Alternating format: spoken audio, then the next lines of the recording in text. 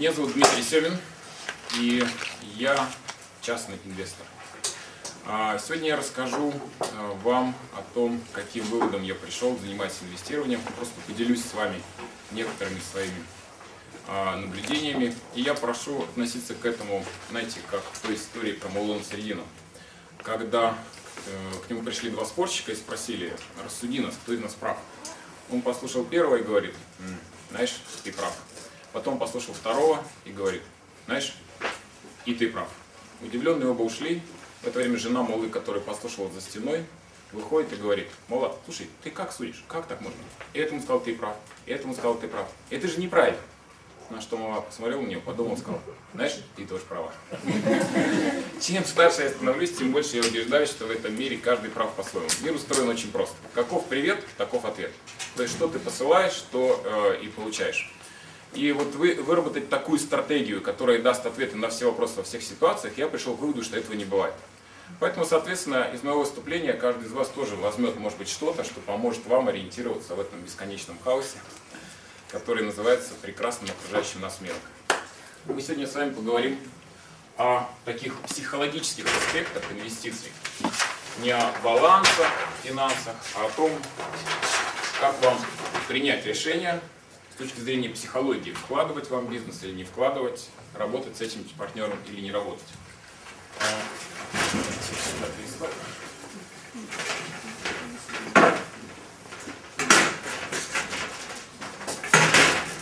Вот так как, хорошо? Психологические аспекты а, инвестиций в бизнес. И у нас такие будут две подтемы. Сначала мы поговорим с вами о том, а, действительно ли вы хотите зарабатывать деньги, действительно ли вам нужны какие-то деньги. Ну, допустим, напишем такую стандартную сумму, о которой обычно говорят, 1 миллион долларов. Да? Действительно ли она вам нужна и куда, собственно говоря, вы хотите ее, зачем она вам, для чего? Все видно, да, что я пишу? Да, да. Вот. И после этого мы с вами поговорим уже о том, что если вы знаете куда, то перед тем, как вложить, как действительно проверить, стоит туда вкладывать или не стоит. То есть, как инвестировать уже туда, куда вы решили. Такие будут два аспекта. Давайте, собственно, начнем с первого вопроса.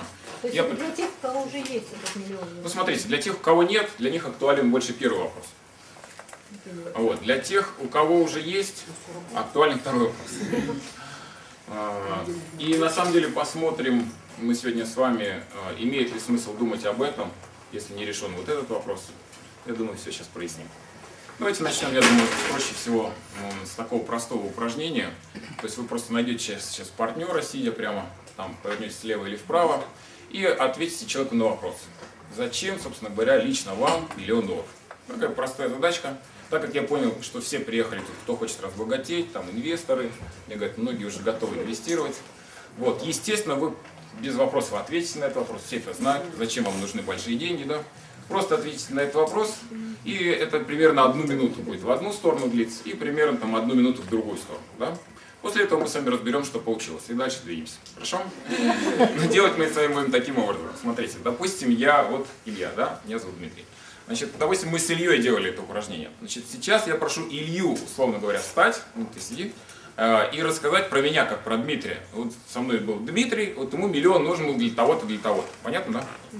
Всего только пять человек я прошу, потому что аудитория большая, мы не будем со всеми разговаривать, и на основании этого там сделаем какие-то выводы, посмотрим. Итак, то есть вы можете рассказать про своего партнера, если хотите. Кто хочет первый рассказать?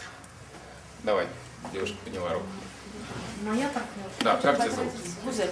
Гузель, отлично. А как партнерша? Ирина, Ирина, да? Отлично, давай, Гузель. Моя партнерша Ирина хочет потратить свой миллион долларов на обучение, угу. образование, свое и собственных детей. Обучение, образование, свое плюс детей. Отлично, дети важно позаботиться. Что еще? Построение дома, поместья. построения дома. Она не говорила, какой дом, где, в каком районе, не. Поместье. Ну что это не Поместье. просто дом, а поместье. То есть дом поместье. Территория. Блестяще. Еще. А, Гузель, а ты говори то, что ты запомнила. Путешествие. Путешествие. Да. Путешествие, конечно. Путешествие, да. Какой интересный мир. Всем тебе, слава богу, есть заграничный Там можно. И организация биржи. Организация Биржи. биржи. О, сколько денег она хочет потратить на? Да, то есть не было задания в суммах определиться. А вот Понятно, ну, хорошо, спасибо. Спасибо.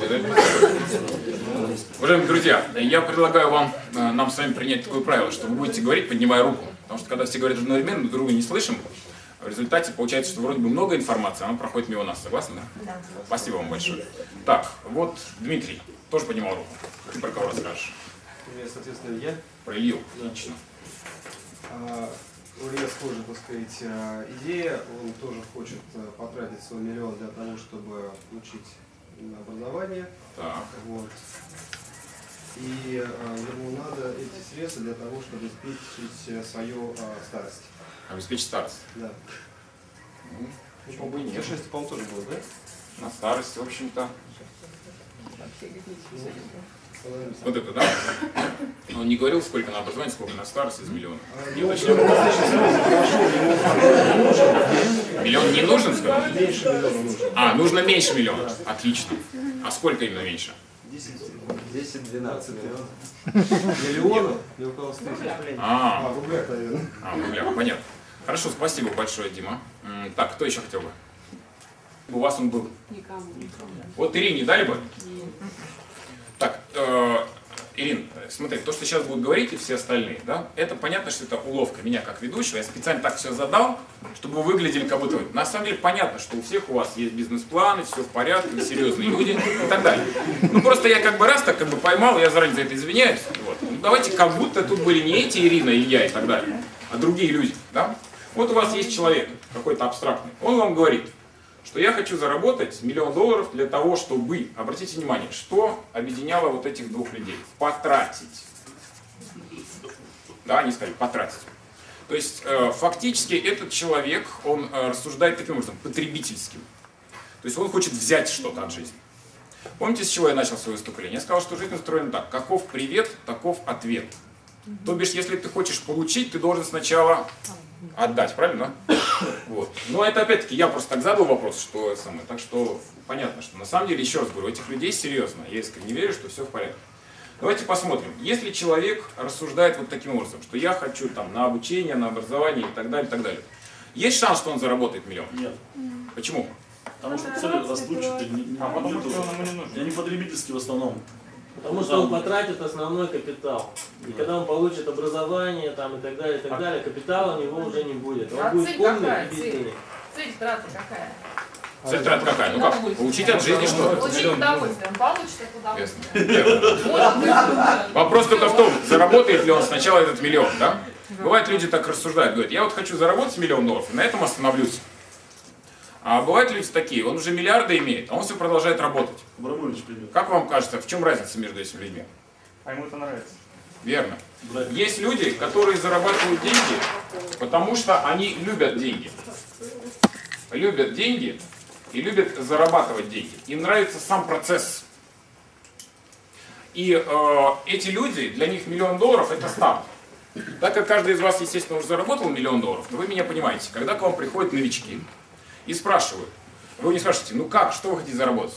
Вы смотрите на них и говорите, дорогой, на самом деле, ты даже не представляешь, как это мало.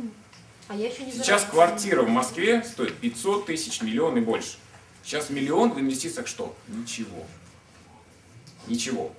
А, реально, согласитесь, да, чуть заработал, он купил квартиру. Все, практически ничего. Это старт. А, не согласен с чем? Потому что это мало. Хорошо. А, это не мало. Это даже, я бы сказал, очень много. Вот. Квартиру иметь это неплохо. Но дело в том, что раньше квартиру имели почти все наши родители. Получается, они все миллионеры. Но уровень жизни их был не очень. Поэтому я сказал, что это старт. что фактически сейчас, заработав миллион, вы покупаете на этот миллион квартиру и находитесь на уровне родителей. И приплыли. И приплыли. Нет, понимаете, да? А вот есть люди, которые зарабатывают деньги, исходя из нужно. Нужно заработать для того, чтобы я вот потом путешествовал или что-то еще. Они тебя как бы заставляют. Эти люди ждут, когда они заработают миллион, и на этом что они сделают? Остановятся. Они говорят, ну все, наконец-то я получил, можно отдыхать. Нафиг мне это не надо, все это дело, миллионы, это работа вся и так далее. Вот этому человеку, так как нравится процесс, он не остановится никогда. Будут тратить его родственники, его жена, кто угодно. Он будет этим заниматься. Почему ему нравится? Например, вам нравится, допустим, там, в дартс играть, да? И вот вы играете всю жизнь в этот дартс. Или музыку вам нравится слушать, да? Вы же ее не прекратите слушать, потому что вы послушали новый альб- альбом Депешмот. Ну все, я уже послушал, все, да. Вы же дальше будете слушать, правильно, да? Здесь то же самое, это бесконечный процесс. Если человек это выбрал, тогда он этим занимается. А если он это не выбрал, каков шанс, что он вообще это получит? Если мужчина любит женщину, он ее добивается, правильно? А она ему говорит нет. Он страдает, он отсюда заходит, отсюда, пишет письмо, смс, цветы, ля-ля, тополя, туда-сюда, да? А если у него такое отношение, ну там, не знаю, что, пойдешь ты погулять? А я не хочу. Э, ладно. Надо типа с кем-то встречаться. Надо пойти на дискотеку, надо не одному, да? Он будет с ней, за ней долго ухаживать, если она откажет. У него не будет внутренней силы, мотивации для того, чтобы преодолевать сложности. Потому что как устроена наша с вами жизнь? Вы прекрасно знаете это лучше меня. Ведь каждый из вас имеет высшее образование, врача высшей категории, правильно? Вот. Ну, мне сказали, что собрались люди такие разносторонние образованные. И вы видели, когда больной лежит в больнице, как у него пульс идет, да? Видели? И потом в какой-то момент, если вот так произошло, это что значит? Клиническая смерть. Это означает, что стабильность наступила. Друзья мои, в нашей жизни есть только одна стабильность. Это нестабильность. Наша жизнь это сплошное изменение. Вот прежде всего, ошибка, какую делают люди, они ищут стабильности в этой жизни. Нет никакой стабильности. Не.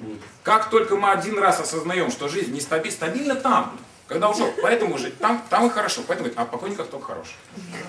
Там, а, хорошо. И то мы не знаем, мы же там не были. Кто знает, как там. А в жизни всегда будет нестабильность. Никогда не будет стабильного мужа, стабильной работы, стабильного заработка, стабильной жены.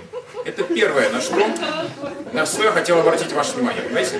Когда люди приходят инвестировать в бизнес или во что-то, они очень часто говорят, нам нужна стабильность. Я говорю, покажите мне, где вообще есть стабильность в мире. А уж в бизнесе тем более.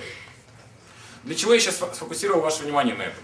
Потому что так как вы хотите реальные деньги, правильно, да? Твердые, не виртуальные придуманные, а реальные. Я предлагаю нам видеть реальную жизнь, такая, какая она есть. Вот это вот железка. И надо видеть, что это железка. И если жизнь устроена вот так, прежде всего мы должны это увидеть. Если мы это не видим, мы питаем иллюзии. Мы надеемся на что-то, живем вот как 18 лет.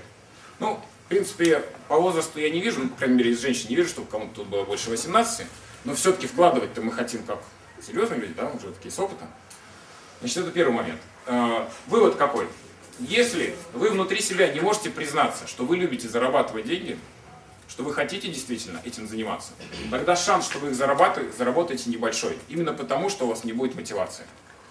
И второй момент, что когда, если вы все-таки выбрали их зарабатывать, вы любите, вы видите для себя в этом значимость, да? Не из логики нужно, я себя заставляю, а потому что я вижу в этом ценность, да? Если вы выбрали зарабатывать, то вас ждет вот это. Всегда, всю жизнь, куда бы вы ни инвестировали. Люди поднимаются и падают, поднимаются и падают, поднимаются и падают. И так будет до конца жизни. Вопрос в том, сколько раз поднялся, когда раз упал. Чтобы поднялся, надо раз было больше минимум. Хорошо, значит, Илья, Если- образование на... Да, вопрос. А, не знаю, может, риторически. А если нет желания зарабатывать денег, но зато очень много желаний, на что нужно заработать денег, и можно так желать всю жизнь. Мне нужна это, мне нужна это, заработал на это, а теперь мне нужна это. Ну, грубо говоря, мне нужна квартира, потом мне нужна дача, потом мне нужна а, яхта, потом мне нужен остров, потом мне В нужна чем вопрос планета. Вопрос в чем? Ну, как бы, ну, вы говорите, Что делать тем, у кого нет вот этого вот первого Ну, вы говорите о том, что заработать эти деньги, нужно а, Любить хотеть процесс, да, вот этот сам, любить Нет, зарабатывать. как раз не нужно. А здесь слово «хочу». Здесь человек «хочу», а здесь «надо». Вот если мы говорим «нужно», мы сюда попадаем сразу. Здесь логика. Мы логикой заставляем себя. Мне нужно любить эту женщину. Нужно. Я с ней встречаюсь. Мне выгодно это, говорю я. Почему? Она убирает, она готовит мне ужин, она там э, со мной, я прихожу в общество, все, о, вообще, надо же, какая у нее жизнь. Мне нужно, я поддерживаю. И я знаю, как это делать, обратите внимание, логика знает. То есть сейчас мы с вами попозже, я вам когда на второй вопрос буду отвечать, мы запишем, проверь это, проверь то, проверь это, все это, да да да да да да Все это есть. Естественно. Я знаю, я прочитал в книжке, что ей надо послать смс что ей надо дарить цветы, что ей надо говорить, моя любимая, ты единственная в мире, что ни за что нельзя ее сравнивать с другими женщинами, что никогда в ее присутствии не надо смотреть на других женщин, и другие умные вещи, как обращаться с женщинами, я знаю, понимаете, да? Но я ее не люблю. Вот в чем разница. И как я буду к ней относиться, и сколько я с ней буду встречаться. До тех пор, пока я не встречу другую, в которую я... «А!» И все. И все эти мои знания сюда уже не пригодятся. Здесь то же самое. Если человек не любит деньги, не хочет их зарабатывать искренне, да, то насиловать их, пихать в эти инвестиции, в бизнес и так далее, зачем? Прекрасно живут люди, смотрите, есть люди, которые занимаются бизнесом, да, а есть, которые не занимаются, являются специалистами, работают там по найму и так далее. А есть еще третья категория, знаете, люди какие? Которые являются специалистами и работают по найму, на самом деле, но мучают себя иллюзиями, что они хотят стать бизнесменами. И вот если человек попадает в эту, вот эти живут счастливо. Они знают свое место, они знают себе цену, они все хорошо у них, они ходят после работы в 6 отработал, пошел гулять в ночной клуб и так далее. Он знает, что он имеет 3 штуки в месяц и все. И знает, что там к старости будет иметь 5, например, по карьере. Но он не парится на эту тему. Это счастливый человек, друзья мои. Это счастливый человек, уверяю вас я. Несчастные люди, которые парятся. Понимаете, да? Потому что они сами себя мучают. Они говорят, нет, не надо, у него Мерседес, я тоже хочу. И если мы, да, если мы разберемся с этим внутри себя, есть люди, которые не парятся, они вот такие, понимаете? Он выбирает из женщины и денег, он выбирает деньги. Он из всего выбирает деньги. Он такой, он любит... Вот на что я хотел обратить ваше внимание, что если, например, вы, кто-то из вас, ну вы это понятно, все, кто присутствует в этой аудитории, это очевидно, что вы здесь. Вопросов нет. Конференция. Да, но, но если вы встретите когда-то других людей, которых нет в этом зале, других, которые находятся в этой категории и думают, что они хотят попасть сюда, объясните им это и скажите, что если ты не здесь, если ты не любишь это искренне, не видишь в этом ценности, Что тебе голову се- себе пудрить и другим? Ты все равно не будешь правильно инвестировать. Ты все равно не будешь, все, что тебе расскажут, все эти знания и так далее, ты их выбросишь на полку и не будешь использовать. Потому что когда я люблю женщину, я даже если не читал книги, я буду изобретать все, что угодно для нее. Согласны или нет? Вы же все любите и любим, правильно? Разве есть кто-то, кто не любит? Нет, все. Ну ладно, я думаю, с этим все понятно. Давайте двинемся дальше. Напоминаю, что у нас называется психологический аспект. Психологический. Вот. И первый, давайте я так напишу, по номерам буду писать. Значит, первый психологический аспект. Понять, я люблю или мне надо. Да, второй момент. Понять, что жизнь устроена вот так. Любите вы или надо вам, в любом случае, куда бы вы ни, на- где бы вы ни находились, вы будете вот так жить. Так устроен мир. А, третий момент. Увидеть реальность.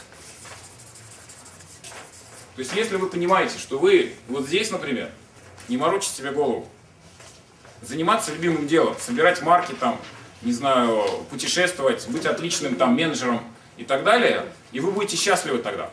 Потому что зарабатывать, заработать через волю, через силу, понимаете, миллионы долларов вот так вот себя сломать, поломать всю жизнь, прийти доказать кому-то, что вот он мой миллион, я способен, я не хуже, чем ты. Какой смысл так жить, если вы не получите от этого удовольствия? Зачем учиться таким инвестициям? Человек получает удовольствие не от процесса зарабатывания. От денег, преодоления от того, сложностей. Нет, зачем? Ему, потому что он не напрягается, что он э, зарабатывает, да? И он получает удовольствие от того, для чего он их зарабатывает. Как Для тебя того, чтобы заниматься любым, люб- любимым делом. Как тебя зовут? Лучше сразу заниматься Отлично. людьми. Это такой вопрос часто любят задавать женщины. Они говорят, ну а если я люблю вот тратить, вот я люблю вот тратить и так далее. Друзья мои, ну для женщин давно решен, решен вопрос. Ну, есть такое слово такое, замуж. Он простой, понимаете? К сожалению, вот я как мужчина, я рассказываю мужские методы. У меня нет такого способа, понимаете, да? Казановой только если стать. Если мужчина дурак, знаешь, сколько умных мужиков сейчас? Умных мужиков, знаешь, сколько сейчас? И богатых. О, вообще. Особенно в Москве. В Москве столько умных, богатых мужиков. Когда люди мне говорят, что не могут найти мужчину, мне кажется, они просто не ищут. Это другая тема, не будем сейчас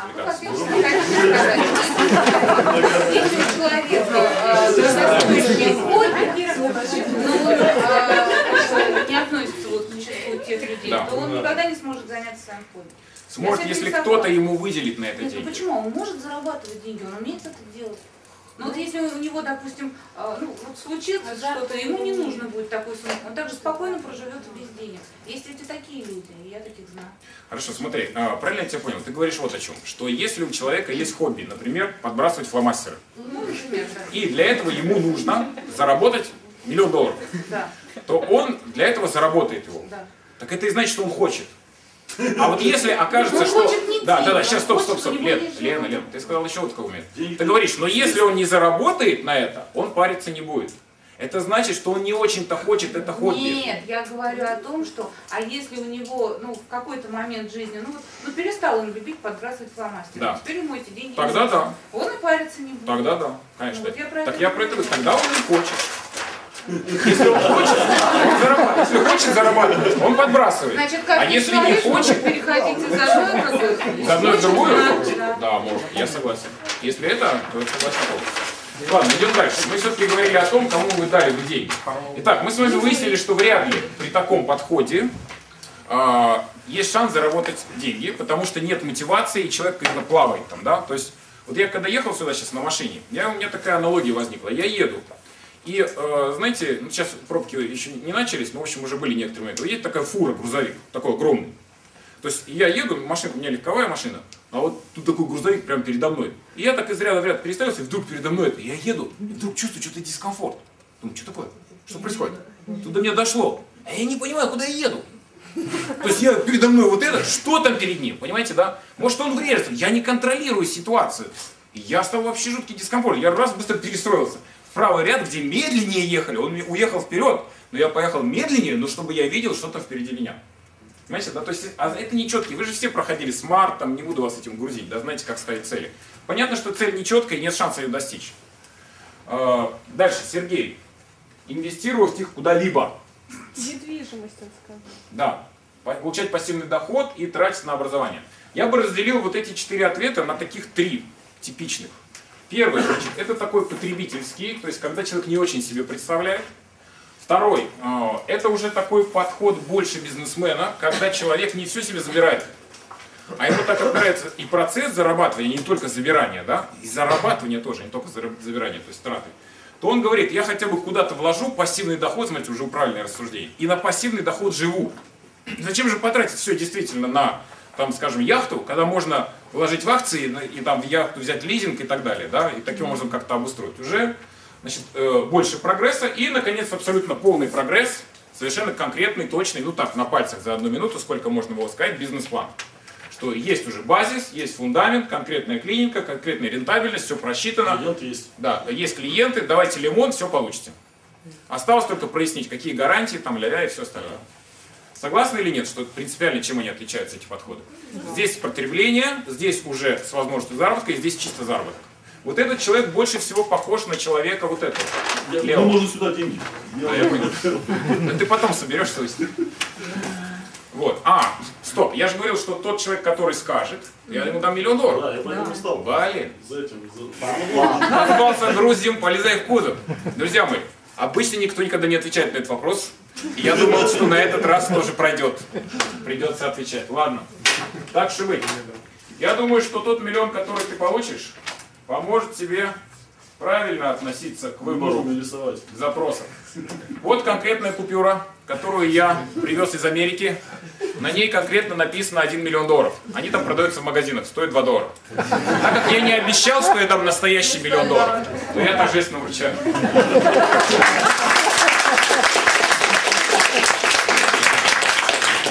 Остальным участникам, так как они создали нам предпосылки для хорошего настроения, я вручаю купюру, на которой написано 6 долларов, 6 доллар, секс доллар и Билл Клинтон вместе с Молькой Львинской. Кто это был? Илья, пожалуйста. Значит, туда. Ирине, пожалуйста. И кто еще был? Да, держите. Все, давайте двинемся дальше.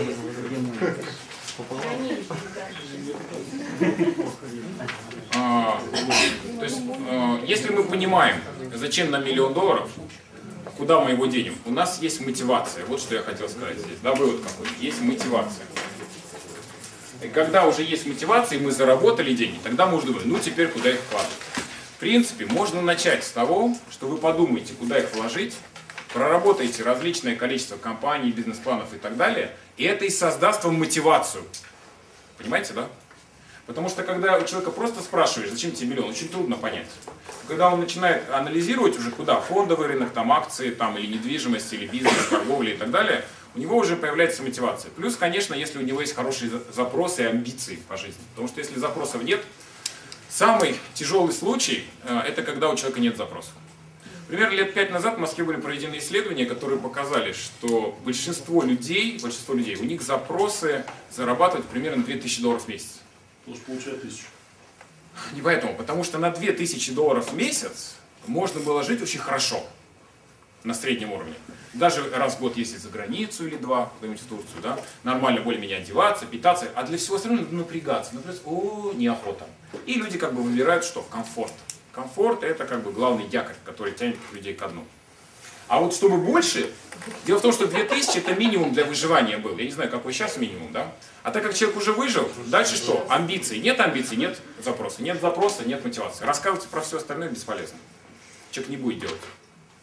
Недавно я разговаривал с одним богатым человеком. Он заработал за последние 5 лет, ну, я думаю, примерно там порядка 10 миллионов долларов. Я у него спросил, говорю, слушай, что тебе помогло? Вот что самое главное, что ты, ты что изучал, как инвестировать, ты там думал, что ты далее. И знаешь, у меня, говорит, была, был запрос, у меня была цель, я хотел этого. Я хотел это вот так, вот как я вам рассказывал, что если вы любите женщину, вы хотите ее. Вы с ума сходите ради этой женщины, потому что она вам нужна. А если это просто случайная связь, вы не против расстаться в любой момент. И он говорит, это было единственное, что было нужно. Я говорю, а как же там это? Я говорю, да, это, если я в чем-то не понимал, я нанимал человека. Если я не знал это, я узнал это. Другие люди как поступают? Они сначала учатся. Давай я пройду курсы этого, этого. Наверное, встречали вы студентов, которые закончили вуз и пошли на английский. Вы зачем английский? Пригодится. Для чего? Английский, два года ходит на английский человек. Если потом нет два месяца практики, он что делает с языком? Забывает напрочь. И так люди учатся. Он поступил по-другому. Он сначала поставил цель, чего он хочет. И он учился только тому, что нужно для достижения этой цели. Больше ничему. Понимаете, да? Всю энергию сконцентрировал на этом. Все, получил свои деньги. Ну давайте теперь перейдем к пункту 2. Как же инвестировать? Когда вы все-таки уже имеете деньги и думаете, ну, пора. И куда? Как инвестировать и куда? Сейчас вам, наверное, надо будет приготовить какие-нибудь ручки и листочки, потому что я вам что-нибудь тут расскажу, что предлагаю вам записать. Как и куда. Во-первых, возникает вот такой вопрос. Вот у вас есть деньги. Куда инвестировать? В свой бизнес? Или в чужой? Какие соображения? А почему или и? Куда еще можно? И туда, и туда. Ну давай так, э, я согласен, что можно и туда, и туда. Ну вот э, какие есть соображения за то, чтобы в свой, а какие за то, чтобы в чужой? Надо смотреть рентабельность. Рентабельность. Чужой. Рентабельность, то есть это прибыльность. Да? Конечно. Сроки, Вот расскажу. Да, скажи. гарантия, А, надежность. Однозначно нельзя инвестировать в свой бизнес только в свой. Только потому, что если ты пролетаешь, прогораешь, ты остаешься вообще с нулем. А параллельно нужно инвестировать в чужой. Вопрос процентного соотношения сколько на сколько. Понятно. Итак, смотрите. а, давайте перечислим как бы плюсы и минусы. Вот я написал тут прибыль, ну ладно, возьму скобочки. Нет, ну если, Итак, если- свой бизнес. если, такой, контроль. если есть такой свой бизнес, который тебе жутко нравится и который ты хочешь делать, да, долго, то ну, инвестируй однозначно в свой. Значит, смотрите, то, что я услышал пока. В своем бизнесе есть контроль, плюс он нравится. А раз нравится, значит хочу. А раз хочу, значит есть мотивация и будешь вкладываться. Это любимая девушка. Да? Так, значит, э, минус какой? Сказали, что если накрылся, все накрылось. Да? дал. То есть э, все э, яйца В одну корзину. в одной корзине. Кстати, любимый Роберт Киосаки, э, вы помните, что пишет, да? Он пишет, профессионалы вкладывают все яйца в одну корзину. Это единственный правильный путь. Единственный. Дилетанты вкладывают в разные. Почему? Потому что у них не хватает компетентности, и они не понимают. И они вложили туда, туда, туда. Где-то их кинут, они это заранее знают. Они заранее расстаются со своими деньгами. Просто они вложили, что вдруг где-то не кинут. Моя практика показывает, что если они вложили в 10 корзин, в 9,5 из 10 их кинут. Потому что так как они нигде не компетентны, их кинут везде. Если не кинут за год, кинут за два. Не кинут за два, кинут за три. И мой опыт личный показывает, что надо все деньги тоже 100% вкладывать прежде всего в свой бизнес. Другое дело, что это невозможно всегда. По многим причинам, в частности, вот, и э, по поводу того, что хочется откладывать, потому что это очень большой риск, повышает очень риск, да? Вот, и тогда действительно возникает потребность вкладывать куда-то еще. Возникает такая потребность. Об этом мы сейчас поговорим, как вкладывать. Я сейчас критерии напишу, просто анализ проведем, свой-чужой. Вот. И чем старше я становлюсь, даже более того, я вам скажу так, у меня есть бизнесы, которые, например, у меня есть кафе. Кафе, в котором э, учитель, я еще один человек. Этот человек доверенный мой человек, то есть я его хорошо знаю. Этот человек живет в этом кафе. Вот если кто-то хочет открыть ресторанный бизнес, по своему опыту и опыту моих знакомых могу сказать, чтобы бизнес ресторанный жил, в нем надо жить вам. Да, это первое. Второе, если именно вы хотите зарабатывать с этого бизнеса, то именно вы там должны жить. Если будет жить ваш доверенный человек, он будет зарабатывать, а не вы. Значит, у меня была ситуация такая, открыл я его года 4 назад, этот кафе, э, что там был доверенный человек, он зарабатывал, делился со мной. Честный оказался человек, понимаете? Редкость, редкость, да? Но э, бизнес все равно никакой, получается. Потому что э, я фактически не влияю на этот бизнес. Все опирается в компетентность этого человека. А мы же говорим о своих деньгах. Чужой Понимаете, да? То есть, если мы свое вкладываем в компетентность другого, мы на это как можем влиять? Никак. С этой точки зрения, когда мы говорим, мы вкладываем в бизнес или в человека, чаще всего мы вкладываем в человека. Потому что вам могут принести красивые буклеты, там все распечатано, все написано, да, вот вам бизнес. Но в зависимости от того, кого поставите во главе, вы согласитесь, да? Будут совсем другие результаты. Всегда в человека вкладывают, всегда. Так, еще плюсы и минусы, свой-чужой. Какие видите? Чужой-то, вы же хотите вкладывать чужой, какие плюсы-то?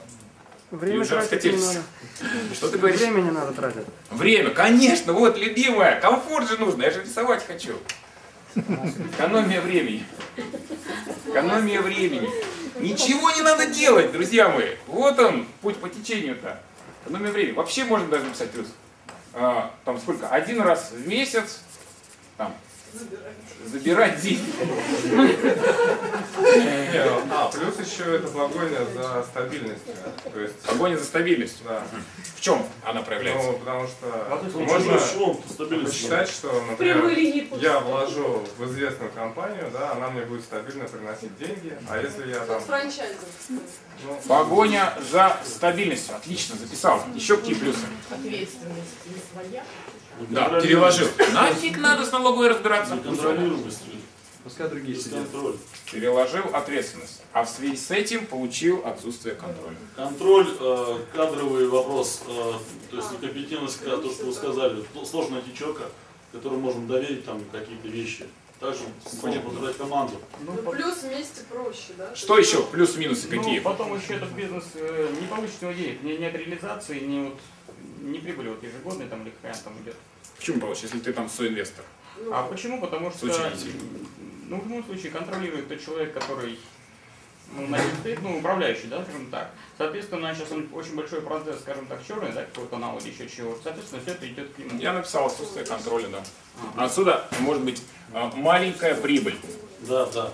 Маленькая прибыль. Даже если она есть, да, я получаю со своего кафе деньги, но прибыль я получаю маленькую. И реально я не знаю как. Но я верю. Вот этот человек точно я ему верю, что там мне не обманывает. Вот. Контроль. ну, плюс здесь это нравится. выше планка, например. То есть, Здесь, соответственно, больше прибыль, да? Денег больше. Больше денег. Ну, с- чужой бизнес, это несколько людей сложились, получился бо- более дорогой бизнес. то есть, Ресторан, а, больше Да, рычаг, да, да. можно цель какую-то больше. Масштаб бизнеса, да? Масштаб бизнеса может быть больше, а здесь надо уметь брать кредиты. А если не умел, А кредиты дают плохо. да. Значит, здесь кредиты надо брать. Это минус, да? Напишем. Ну, Вот какие-то мы плюсы и минусы написали.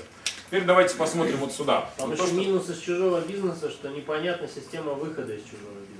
Выхода. То есть ликвидность. А, как выйти, да? Ликвидность пониже. То есть бывает так, что уже и дальше идти нельзя, и расстаться Да. уже не получается. Легко закрыть, здесь Чужой. Здесь да, легко. Легко закрыть. Или изменить. Я с вами согласен. Знаете, первый раз я захотел продать свою долю в кафе полтора года назад. Это, наверное, плюс легко закрыть. Да, плюс, конечно. э, полтора года назад я решил продать. Я не смог до сих пор продать. Партнер говорит, нет! Да маленькое кафе, это вообще такой фастфуд, короткое, маленькое кафе. А, и я пытался продать, и он говорит, нет. Я говорю, почему? Ну, у него нет денег, чтобы выкупить.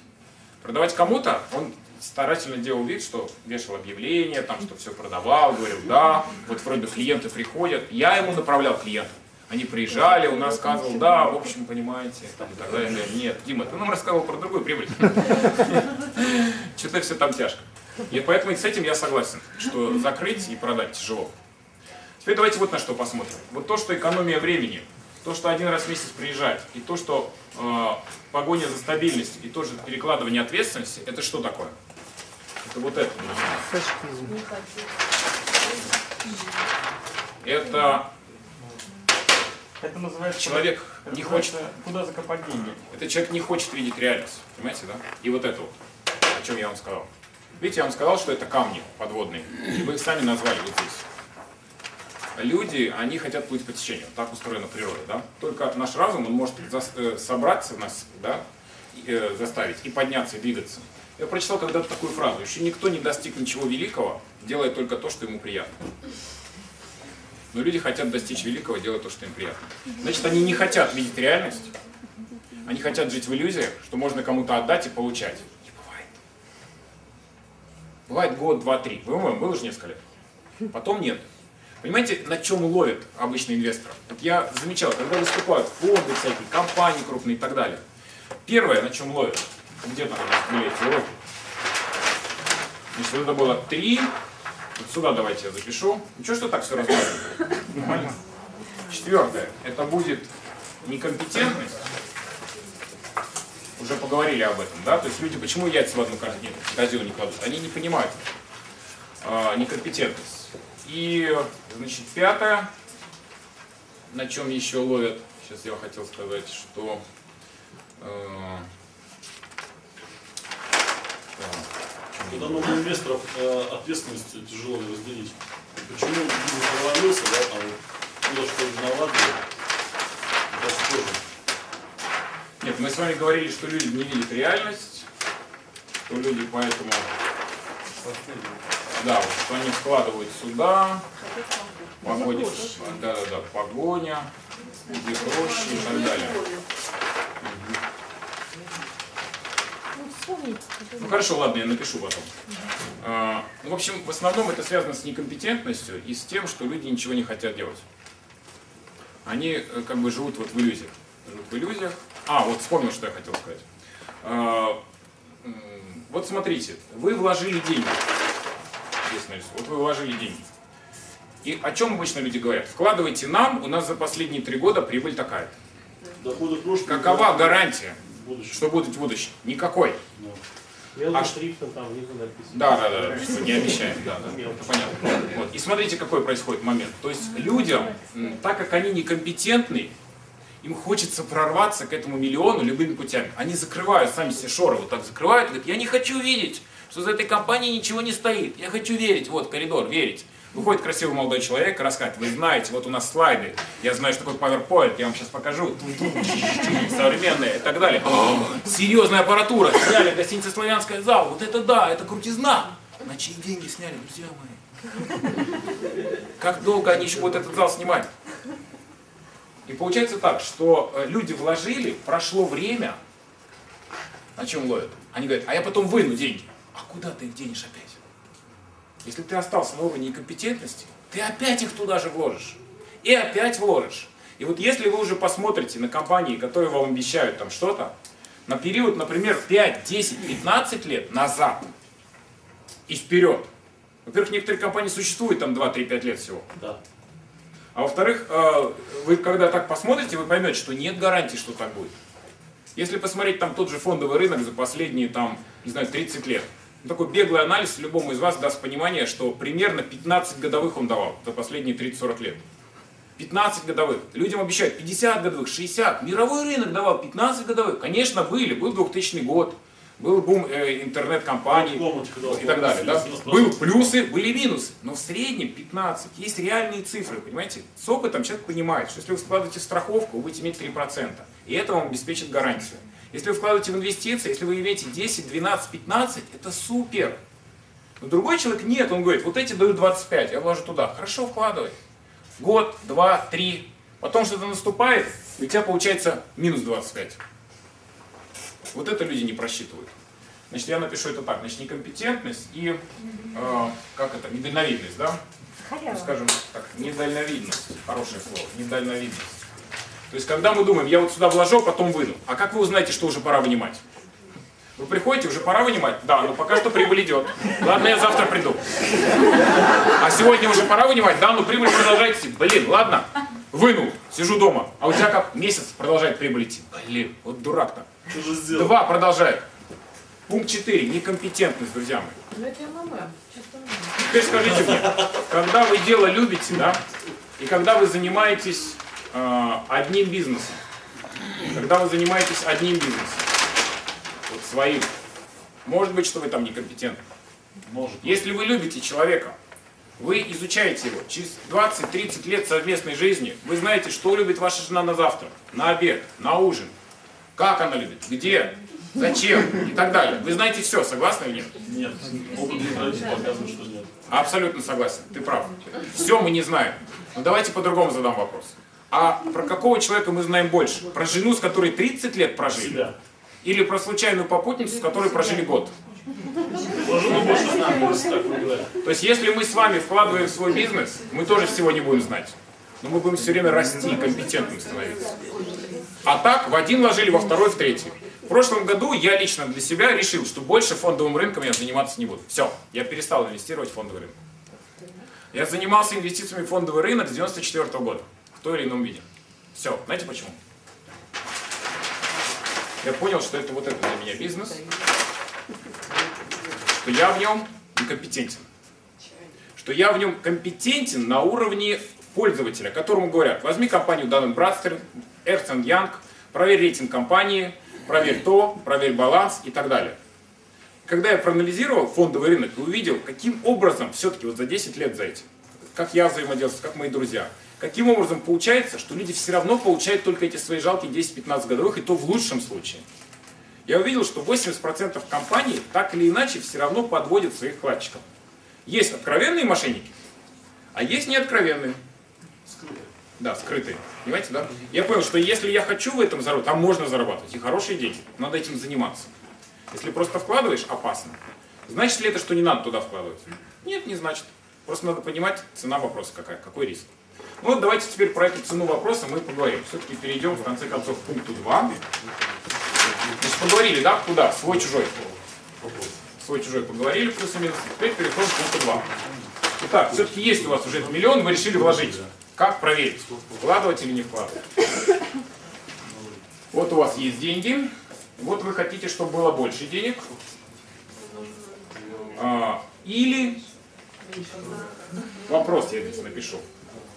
И вот здесь, а, вот здесь будет у нас вопрос. Такое слово вероятность. Вероятность. А вот здесь я напишу такое умное слово с психологии. Урок. Урок. Когда у нас есть деньги, и мы их вкладываем, мы получаем одно из двух. Либо получаем деньги, прибыль, да? Либо мы получаем урок. Если мы не получаем даже урок, таких людей в этой аудитории нет, друзья. Если человек дважды наступает на одни и те же грабли, трижды и так далее, иногда некоторые наступают так часто, что стук грабель по лбу превращается в бой барабанных палочек. Это их не останавливает. Здесь, так как нет таких людей, я не буду рассматривать такие варианты. Правильно? Мы будем считать, что мы урок всегда извлекаем. Итак, первый пункт. Вы сами мне его подсказали, что когда мы рассматриваем деньги, мы думаем, каков, если проект успешен, если проект успешен, какова прибыль? Какова прибыль? Прибыль я долларами всегда обозначаю. Так. И отвечаете себе, устраивает? Ну, рентабельность, условно говоря. Это первое. Начинаем с этого. То есть смотрим по прибыли. Второй вопрос. Если проект не успешен, каковы уроки и каковы потери.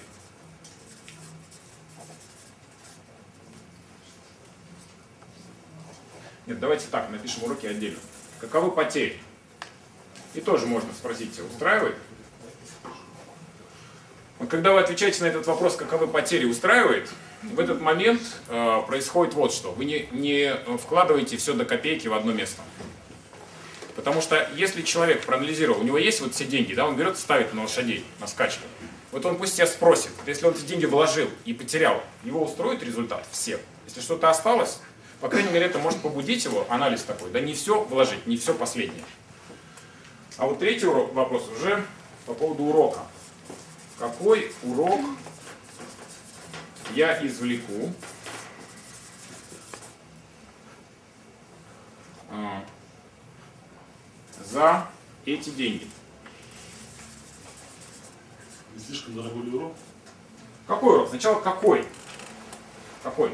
Например, вы вкладываете 10 тысяч долларов, вы понимаете, что в случае успеха вы получите 12, например, да, 20 годовых. В случае неуспеха получите минус 10. Ноль. Отлично. Какой урок я извлеку за эти деньги? Вот я когда стал себе этот вопрос задавать, я стал отказываться от очень многих проектов. От очень многих проектов. Знаете почему? Потому что я вдруг стал замечать. Я себе рисую такую картинку просто. Например, подбегает ко мне Илья. Слушай, Димон, надо вот вложить там 10 штук. Тут это самое, значит, бизнес. Я говорю, а где бизнес-план? Да нет, нормально, мы свои люди, там, киоск открывают, там, или пиццерию, там, сейчас вкладываем, зарабатываем и так далее, там, поделим все. Я говорю, М, у меня вот что-то такое, ну, а договор? Нет договора. Да свои люди же там и так далее. А какие просчеты, гарантии? Нет и так далее. Хорошо, теперь я себе представляю, прошел год, Илья разорился, ну не этот Илья, это, конечно, успешный, другой.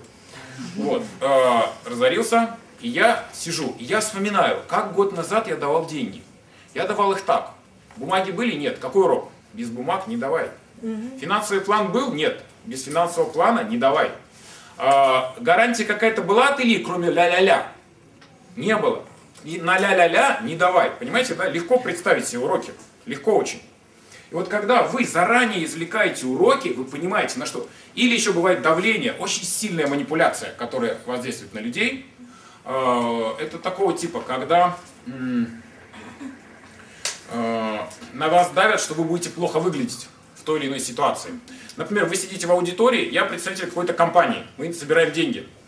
И э, там, допустим, вот Тимир мне задает вопрос. Я ему говорю, ну вы что, ну вы что, ну кто такие вопросы задает? И Тимир что чувствует? Неудобно спросить. Или я недавно вот э, там делал одну операцию риэлторскую, значит мы приезжаем в компанию, задаток носить за квартиру, 5 тысяч долларов, значит приезжаем, заходим, какой-то полуподвал, тут какая-то какое секретарское бюро, тут фирма, одна комната написана, риэлторская компания. Я захожу, здрасте, здрасте, какая квартира? Вот такая, показывает ксерокопию документов.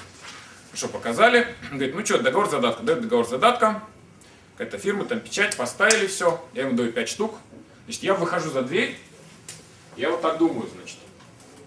Вот я этого человека знаю? Нет. Нет. Он мне позвонил по из рук руки. Я впервые в жизни увидел какого-то человека, который мне показал какие-то ксерокопии. Может быть, он эту квартиру арендовал. Понимаете, да? И у хозяина отксерил. Я не спросил, как его зовут. Он мне дал визитку. Какова гарантия, что на визитке написано настоящее имя? Трудно визитку сейчас заказать? Я ему дал 5 штук ушел. Вполне может быть, что когда я завтра сюда приду, тут не будет никого. Я к нему... И у меня, знаете что? Дима, как, как ты будешь выглядеть? Представляешь, сейчас придешь, скажешь, паспорт, покажите, пожалуйста, учительские документы компании, покажите, пожалуйста, скажет, вы что, вы что, у нас фирма, что, не доверяете мне? Я сказал, Дима, какой урок ты извлечешь за эти деньги? Ты извлечешь такой урок, что тебе было неудобно, плохо выглядеть, якобы скажут, ну ты, и ты за это заплатил 5 тысяч, что тебе дороже? Нафиг надо, говорю я. Захожу к нему, говорю, вы, конечно, говорю, извините, но так я уже первый раз, я вам паспорт показал, он говорит, да, давайте свой. Давайте, говорю, учительские документы, все. Со мной пришел другой риэлтор. Он сидит красный как рак, вообще, ему неудобно. Он говорит, ой, боже, что такое? Говорю, а что такое? Он мой паспорт посмотрел, вписал договор. Я что, не могу посмотреть, что ли? Я не наезжаю на него, я доброжелательно говорю. Я говорю, документы показывайте. Куда, как? Он начинает, я говорю, лицензия где? Это какая, чего, посмотрел, проверил. Позвонил знакомым, говорю, скажите, это лицензия действительно, можете проверить? Проверили, действительно и так далее. Потратил час времени еще на это, друзья мои. После этого ушел. Значит, какой урок я мог извлечь, потом, потеряв деньги? Что? Я сэкономил время, я подумал, я час времени, ну и час проверять, да ну нафиг. Вот на чем мы ломимся, понимаете, на таких мелочах. На том, что, ну что вы за вопрос? Да, не, да мы серьезно, посмотрите, где мы находимся. Вы что, обалдели совсем? Не волнует. Не волнует. Есть обычные процедуры. Надо проверить. Вы первый раз видите этого человека, понимаете, да? Первый раз видите, они давят всегда на это. Нанимают психологов, те там накачку делают, ура, ура, там люди, «А-а-а». их накачали, вложили бабки. Потом пришли, ничего нет. Итак, какой урок я извлеку эти деньги? И смотрите, дополнение. Если я его уже извлек,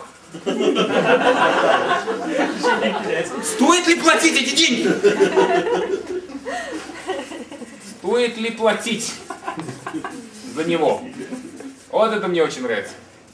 Я уже изрек урок, понимаете, да? Зачем платить? Все, проехали, давай паспорт. Нет паспорта, до свидания. Еще одна история, позавчера. Надо получить разрешение на перепланировку. Значит, еду в машине, объявление в столбе. Перепланировка в любом районе Москвы. Отлично, звоню. Здравствуйте, здравствуйте. Сколько стоит? 2200. Отлично. Условия. Ну, мы с вами договариваемся, мы к вам подъезжаем, вы, э, э, значит, заключаем договор и делаем перепланировку. Срок два месяца, все хорошо. Какие условия, говорю, будут договора? Э, как фирма, где у вас офис, я хочу приехать посмотреть. У нас нет офиса. Почему?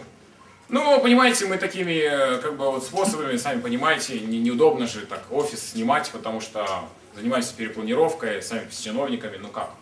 Ну что вы, не ребенок что ли там? Я говорю, ладно. Договор какой будет, с какой фирмой?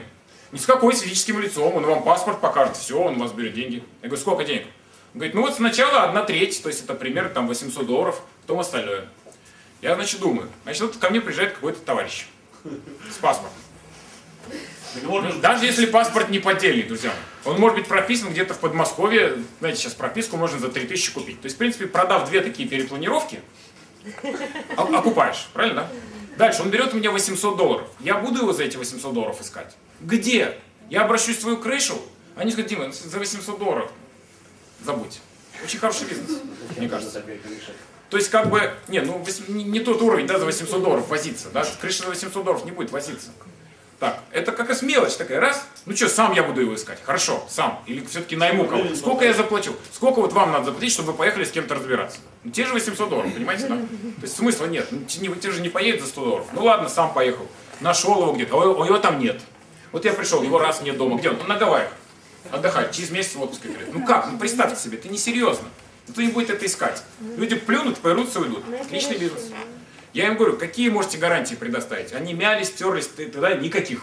Говорит, вот вам фирмы, там 3,5-4 стоят. И дали мне официальные фирмы, которые представлены на рынке. А, там дороже, имейте в виду. Я говорю, я понял, на что давите. Спасибо. Записал тщательно телефон и говорю, облегчили поиск. Мне лучше заплатить 3 500 в надежном месте, чем просто так подарить 800. Значит, понятно с уроками, да? Третий пункт. Четвертый пункт. Четвертый пункт у нас будет большой. Называется он как раз вот этот, вероятность успеха. И в нем будет еще четыре подпункта. Итак, смотрите, первые два пункта, первые три были посвящены чему? Вот я вкладываю, да, что я получу. Или, если я не получу деньги, какой я получу урок. И стоит или нет. А теперь мы поговорим с вами о гарантиях. Потому что всегда первое слово прибыль, а второе слово в бизнесе это гарантии. Потому что я вам могу сказать, дайте мне тысячу долларов, и я вам верну через 5 минут 2. Скажу, гарантия ноль, будете давать? Нет. Ну мы запрем в комнате в этой. Какие? Я занимался гарантией. А нас больше. У вас больше всего сдаюсь. Итак, вероятность успеха. Значит, как я определяю вероятность успеха? Давайте зеленым фломастером сделаем. Вот даже здесь, на железке. А, да, спасибо большое. Итак, вероятность успеха. Значит, пункт будет 4.1. Так как люди цивилизованные, начинаем с чего? С юридических гарантий. Прилично. Не кулаками сразу разбираться, а юридический. Пункт 4.1. Юридические гарантии. Значит, что такое, что является юридическими гарантиями? На примере вот этой же истории с квартирой. Паспорт человека. Сейчас посмотреть, кто это, где он прописан, как его зовут. Это правда Вася? Или это на визитке написано, что Вася? Паспорт. Дальше. Реквизиты компании и учредительские документы. Обычно висят, конечно, там лицензии и так далее. Ну, посмотрите, запишите номер, в конце концов, да, проверьте, действительно лицензия или нет. Сразу какой это самое урок возникает? Неохота тратить время, а деньги охота тратить. Ты, тебе охота, что ты потратил, например, 5 лет своей жизни, заработал пол лимона, А теперь час не хочешь потратить еще. Вот с этим сравнивайте. Сколько потратили сил, чтобы эти 10 тысяч долларов заработать, и теперь час жалко. Это же надо дозваниваться. Неохота. Пункт 3. Какой урок я извлеку? Я готов за него заплатить? Если нет, звони. Выясняй. Дальше. Юридические реквизиты, учительские документы. Что еще является юридическими гарантиями? Лицензия. Ну да, это все назовем так, лиц- лицензия. Репутация. А, нет, да, репутация это не юридические гарантии. А, вот еще что, легитимность. Сделки. То есть между двумя физическими лицами нельзя, не- нельзя договор заключать, должен быть нотариус. тогда. Да, а, я имел в виду еще не только это. Вот на примере твоего друга, да, как ты говоришь, у него есть клиника. В принципе, это бизнес, но он не- нелегитимный. Да, да. Понимаете, да? Вероятность сразу. Гарантии. Четко описано в договоре. И сразу под вопрос. Если нет, то почему? Ну, так как все вы прошли высшую подготовку в КГБ и знаете, как там распознавать людей, вы знаете, чему там учат. А, учат э, смотреть сквозь то, что говорит человек всегда. Это ключевой момент. Выступает министр, допустим, финансов и говорит, вы знаете, курс доллара на бирже пошел вверх, ажиотаж и суматоха. Обычный обыватель, что смотрит, он говорит, «А, я получил информацию, курс доллара пошел наверх, надо продавать или покупать или что-то делать. Профессионал, такой как вы, что делает? Он думает, А зачем он это говорит? абсолютно верно. Что Он хочет думает, с какой сделать? целью было сделано это выступление? Он что хочет, чтобы все побежали? Для чего? Значит, там западня. Понимаете, да? Вот профессионал. То есть он смотрит в нуль. Зачем он это делает? Если в договоре что-то написано, зачем написано именно так? Если что-то не написано, а зачем это не написано? Для чего? Почему это опустили? Тогда вы видите подноготную этого. А, Значит, если нет, то почему? Все ли четко описано в договоре? Все ли четко описано в договоре, имеется в виду еще что? Что там просто, вы прочитав договор, понимаете, о чем вы договорились. Если вы это не понимаете, много юридических терминов. Я сейчас видел договора, особенно, знаете, инвестиционные компании там, Да. Бывает. Пять страниц и из учебника как бы написано там такими терминами всякими, которые человек читает обычно так, он так, ну понятно, ладно. Если кинут, то кинут, если нет, то нет. Знаете, я пришел к такому выводу, как люди в основном инвестируют, кто у них критерий. Вот мы сейчас с вами разбираем критерии, вкладывать или нет, да?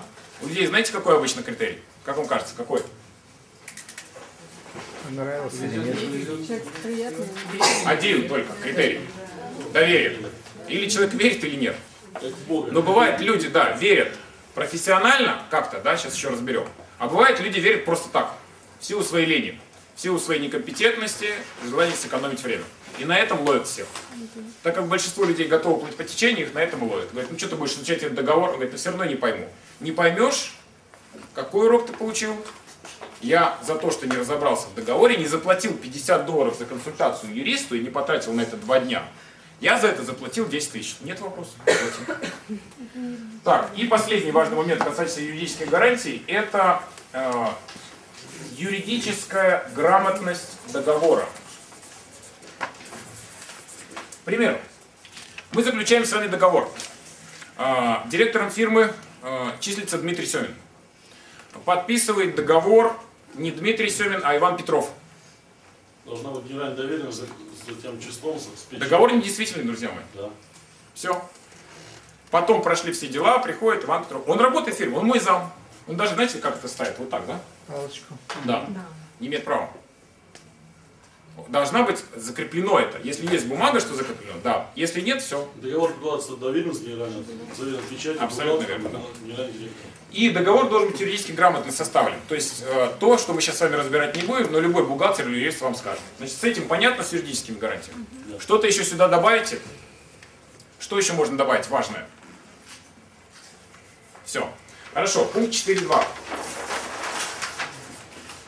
Пункт 4.2. Э, Значит, материальные гарантии. Материальные гарантии. Что это такое?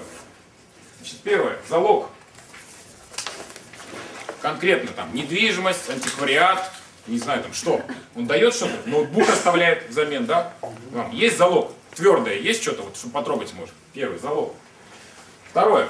Материальные гарантии. Перестраховка. Перестрахован этот бизнес, перестрахован этот вклад, в какой страховой компании, насколько она тоже отвечает за свои обязательства и так далее. Третье. Банковская гарантия. Меньше всего мне нравится. И страховка еще платит.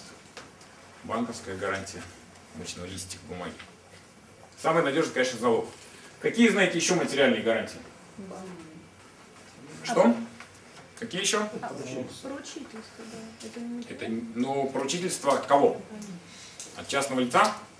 Компании другой, не знаю, частного от лица, еще партнера, что-то. да. Поручительство. Это разновидность банковской гарантии. В кавычках. Когда вместо банка выступает физлицо или другая компания. Считается менее надежным, естественно. Ну да. Еще. А рекомендация это что? Рекомендации ничего. А, Сейчас, секунду. Просто воздух. Рекомендации. Мария, да? Мария, рекомендации ничего в этом пункте. Рекомендация будет в пункте следующем. Сейчас идем о материале. То, что вот такое. В принципе, вот такое, вот такое, это только вообще первое. Вообще-то, по большому. Да. Это уже материальные гарантии такого второго, третьего, четвертого порядка. Еще есть какие-то? Смотрю, что я вам написал. ценные бумаги могут быть. Ну, ты есть залог. Залог, да. Залог Репутация. просто разный. Не, Репутация. это следующее. Ну, точно. Ну, Просто разная ликвидность, да, залог.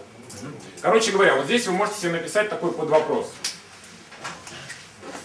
Кто мне заплатит, если заемщик, он заемщик у вас, да, умрет, фирма закроется, бизнес обанкротится. Кто мне за это заплатит? Если на этот вопрос нет ответа, Думайте. думайте. Так, пункт 4.3. Рекомендательные гарантии. Рекомендательные гарантии. Первый вопрос здесь. Откуда я вообще узнал этого человека?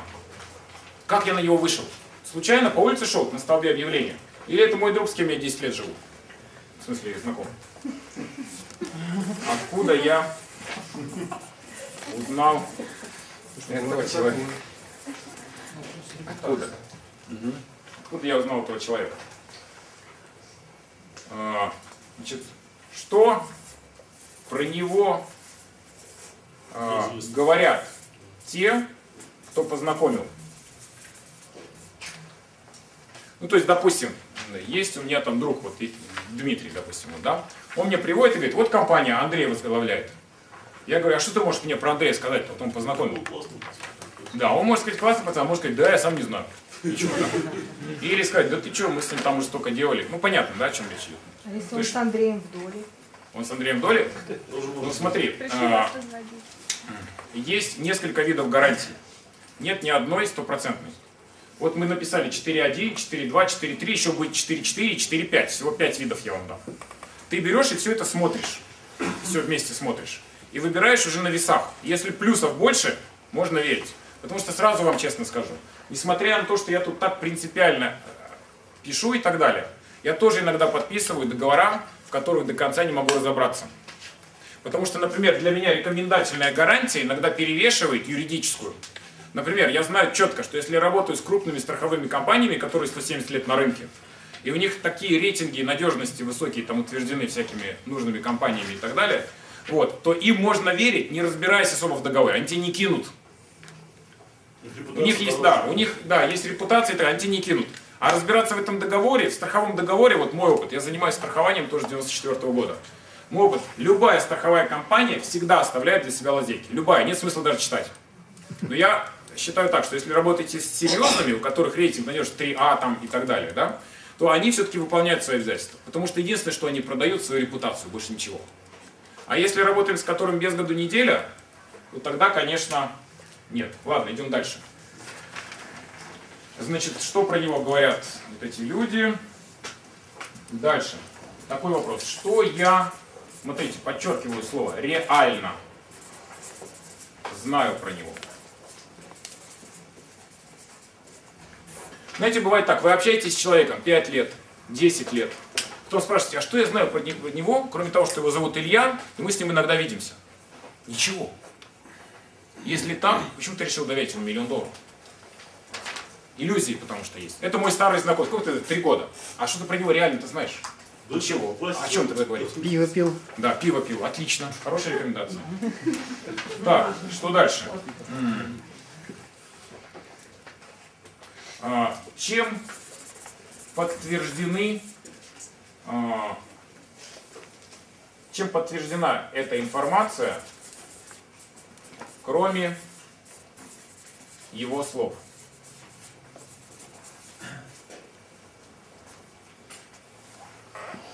И очень еще важный пункт, мне вот тоже нравится, если ко мне кто-то приходит и говорит, Дима, дай деньги вот в проект, хотим инвестировать. Я знаете, какой вопрос задаю человеку? Я говорю, скажи, а если я тебе не дам деньги, ты будешь все равно этот проект делать или нет? Да, буду. И вот если человек говорит нет, это что такое? Есть любовь к этому проекту? Нет. Нет любви, вначале разбирали, проехали. Так Как а только первая, первая сложность, тут же обломался. Что? А как он без денег будет? В другом месте пойдет. Какой ответ я жду? Если, Дима, я тебе не дам деньги на эту, Андрей, не дам на эту поликлинику, ты будешь, ты будешь делать. Он пойдет к Илье, пойдет там, не знаю, к Деме, там, к Тимиру, там еще кому-то, он будет искать. Итак, если не дам, если я не дам деньги, да, будет делать. Так, по рекомендательным гарантиям сами еще что-то можете добавить? И поэтому он ко мне обращается. И как только я себя на этом ловлю, я сразу думаю, опа, может быть не стоит. Так, пункт 4.3 записали? Так, у нас осталось немного времени, осталось два пункта, они тоже такие короткие, сейчас запишем. Значит, пункт 4.4. 4.4. Силовые гарантии. Учитывая то, что, несмотря на интеллигентный вид всех нас, мы живем с вами в реальном мире, да? Вот реальный мир, и хотим реальные деньги. Но надо понимать, что вот так мир устроен, в частности, а не только так, что «А, как это вы так, это там где-то в кино. Вот оно вокруг везде. Значит, силовые гарантии заключаются вот в чем. Задайте себе такой вопрос. Что я буду делать, если я к нему приду, прихожу, допустим, вот Илья, ну, допустим, не Илья, все, Илья, рядом сидит, допустим, вот здесь вот, сидит какой-нибудь Петр, вот здесь, Петр. Петр взял у меня, например, 10 тысяч долларов. Проходит год, я прихожу, говорю, Петр, ну чего там? А, как взял? Говорит, нормально. Какая там прибыль или чего там? А, сколько заработал я там и так далее. Он говорит, иди отсюда на три буквы. Пешее эротическое путешествие. Я говорю, у тебя что, проблемы? У меня нет проблем. А у кого проблем? У Тебя. Почему? Если быстро не уйдешь, догоним. То есть, когда вам откровенно говорят, пошел отсюда, ясно? Да, я взял у тебя деньги, возвращать не буду, понятно? Что будете делать тогда? Что вы будете делать? Вот что? Это очень важный вопрос. Если нет никакой гарантии, люди отдают в компанию. Там, допустим, компания, у нее 10 миллиардов долларов капитала. И вот он свою туда 2000 долларов отдал. Как он будет с этой компанией разбираться, вы мне объясните. Он туда придет, секретарша, секретарша к менеджеру, менеджер туда, этот сюда, этот сюда, его замучают там. Где там этот вице-президент? Когда он к нему до него доберется? Иногда в маленький бизнес выгоднее вложить, чем в такой огромный. Если, конечно, нет хорошей репутации. Пункт предыдущий 4.3, рекомендательные гарантии, да? Вот, то есть откуда вы узнали, какая репутация на рынке и так далее. Если вам говорят «до свидания», что вы будете делать? Что я буду делать, если три буквы? То есть, значит, здесь, соответственно, если у вас силовая поддержка, поддержка, или э, есть ли возможность обратиться в суд, то есть юридической поддержки. Потому что если компания крупная, то можно делать что? Обращаться в суд, если она надежная. Ну, в смысле, такая юридически грамотная. Так, да, легально, естественно. И что еще? Вот еще важный момент. Что может э, помешать ему так поступить со мной? Или наоборот, что может помочь ему так поступить со мной? То есть, смотрите, допустим, этот человек, он пользуется авторитетом каким-то, да, а, в какой-то слой общества. И я туда вхож, и он. И он знает, что если он меня подставит, и я распространю эту информацию, то, в общем, он потеряет больше. Вот это ответ, что может ему помешать? То есть он, может быть, и хочет кинуть, и понимает, что я лох, но не сделает этого. Это четвертый момент. Ну и последний пункт, 4.5. Интуиция. Вы, наверное, читали э, Паоло Каэлья, алхимик, да? Там были два такие камня, Арим и Тумим. Значит, в чем суть? Один камень говорит да, другой камень говорит нет. А, У нас сейчас с вами не эзотерический семинар, но в принципе в двух словах объясню, как этим пользоваться. А, Интуиция, она, это наше подсознание. Она содержит информацию всю, которую мы когда-то видели, слышали, читали, плюс всю информацию наших родителей, плюс предков. Ученые посчитали, что на 4 поколения назад. То есть ваши дедушки, прадедушки дальше просто не смогли прочитать. Все человек помнит. Так эволюция через ДНК передает генетический код. Э, ну, природа передает, да, чтобы для эволюции.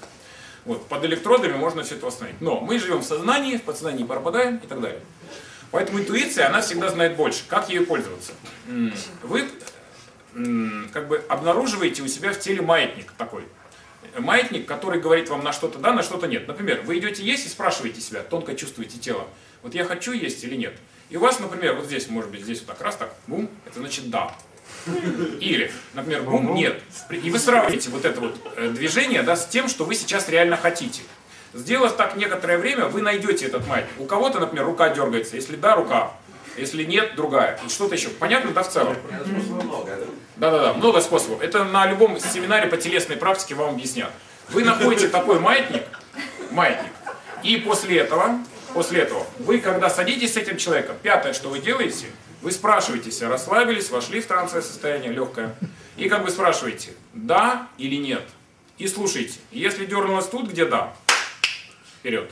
Если тут, где нет, нет. Почему нельзя ориентироваться только на интуицию? Короче всего же, да? Потому что если бы мы были мастерами интуиции, скорее всего, были бы просветленными мастерами, понимаете, да? Поэтому все остальное это логика. Логика без этого ничто не стоит. Вот пять пунктов, которые я хотел вам рассказать. Теперь, перед тем, как я завершу, я хотел спросить.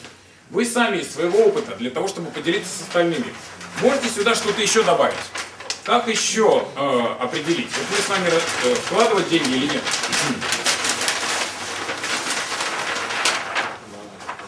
Вот мы разобрали несколько видов как бы юридические гарантии, материальные и так далее. Что-то еще можно добавить? Или все мы обсудили? Вы знаете, я вот на своем опыте хочу сказать, что э, в итоге получилось, что интуиция все-таки на первом месте. У вас, да? Да, у меня так получилось, потому что я вкладывала деньги в бизнес, э, в котором тоже, ну, собиралась принять участие. И, ну, потом уже отмотав назад, э, со мной творилось что-то вообще невероятное. То есть меня трясло там. Ну понятно, да. То есть вы почувствовали этот якорь. Да, и вот я прошла потом все вот эти этапы, которые вы написали, и просто вот по каждому из этапов я получила, скажем так, отрицательный момент. То есть я просто сейчас вот прокручиваю ситуацию. Ну понятно, да. было. Хорошо, спасибо. Но я сейчас спрашиваю не о подтверждении, а о том, есть ли что-то еще. Я не знаю ни одного инвестора в бизнес, который был бы в этом некомпетентен и достиг значительных успехов. То есть, если человек не понимает этот бизнес и в него инвестирует, то, скорее всего, не добьется, несмотря на все гарантии. Там просто не будет денег. То есть, его не кинут, его деньги просто кончатся. Ага. Спасибо. Ну как же И это-.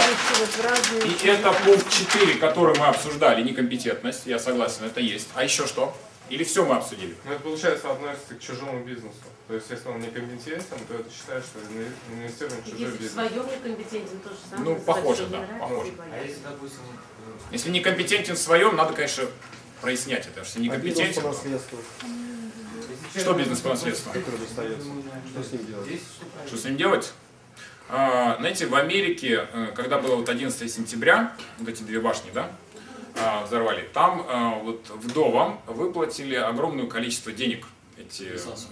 да, компенсацию. Страховщики. Значит, и вот одна женщина, она значит, собрала всех вот этих вдов и сказала им, знаете что, давайте, вот она им предложила, есть государственные фондовые облигации США, они дают 5% годовых, но считается самый надежный финансовый инструмент. Кто фондовым рынком занимается, в мире считается номер один, самый надежный.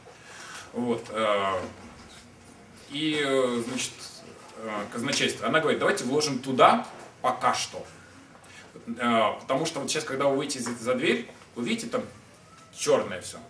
Все говорят, да. Это стоят брокеры, финансисты, агенты и риэлторы, которые хотят от вас у вас деньги отнять.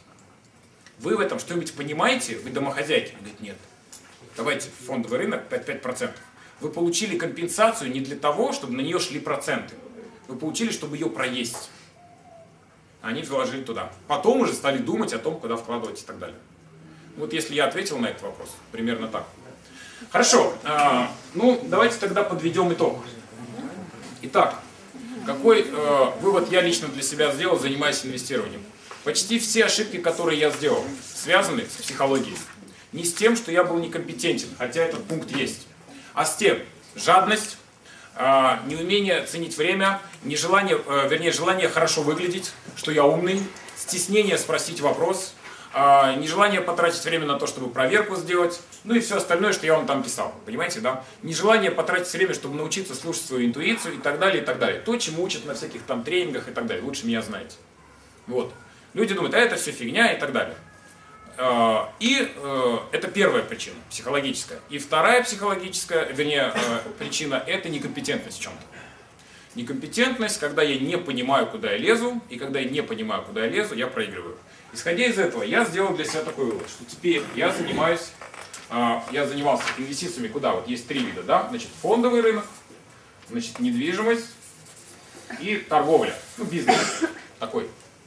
Значит, я пришел к таким выводам, что если вы, это ваш бизнес, торговля, то вкладывайте в нее. А если это не ваш бизнес, а чужой, чужой, то тогда я не вкладываю в фондовый рынок, как в чужой, и я не вкладываю в торговлю, как в чужой. Потому что в недвижимости есть что-то, помните, залог я писал, а здесь есть только люди. Здесь мы вкладываем в людей. Обещание. Да, и если люди ошибутся, будет плохо. Но это не значит, что нельзя туда вкладывать. Можно вкладывать и вкладывать успешно. Просто надо учитывать все то, что я написал. Юридические гарантии, материальные, перестраховку и так далее. Спасибо вам за внимание. Э, Надеюсь, что каждый из вас возьмет что-то полезное из того, что я вам рассказал. В заключение хочу рассказать вам такую историю. Э, В свое время я тоже много учился на различных семинарах, курсах и так далее. И потом мне рассказали такую историю, которая немножко меня вернула к реальности. Э, Плавают в море два корабля. Один японский, другой наш. Значит, японцы ловят рыбу, наши нет. Э, Значит, наши собирают совещания, проводят мозговой штурм, анализируют, как, что, как поймать рыбу, что, каким образом, так поймать, так или это, и так далее. Рыбы нет. Опять собирают совещания, таким образом, таким, таким, рыбы нет. Третий раз, наконец, решили послать своего э, капитана к японцу. Приезжает к японцу и говорит, дорогой, слушай, почему в одном море плавают? Твой, ты рыбу ловишь, мы нет. Японец отвечает, когда твоя нет рыба, твоя собирает совещаний.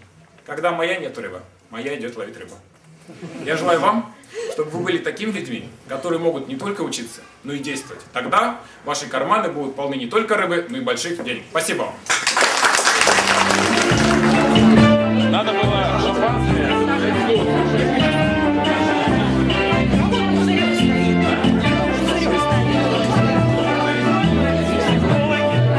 Ключик от моего номера.